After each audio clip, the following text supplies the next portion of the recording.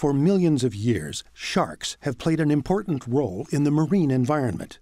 But around the world, shark populations are declining. This has serious consequences for our oceans. In the Pacific, scientists compared the conditions of coral reefs in relatively pristine, less populated areas with reefs that were heavily impacted by human activities, such as overfishing and habitat destruction. In the pristine locations, scientists found more stable, healthy coral reef ecosystems with a high abundance of sea life.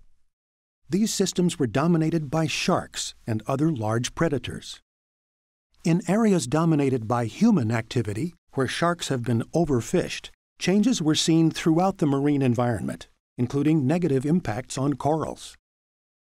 Many corals depend on herbivorous fish, like parrotfish, to eat algae and allow new corals the opportunity to settle and grow.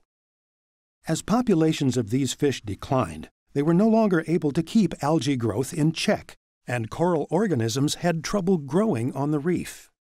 As a result, the reef shifted to an algae dominated ecosystem, which lacked the diversity of marine species found in healthy coral reefs.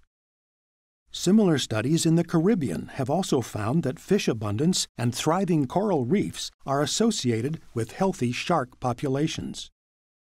Sharks need protection to maintain a diverse marine environment and healthy coral reefs.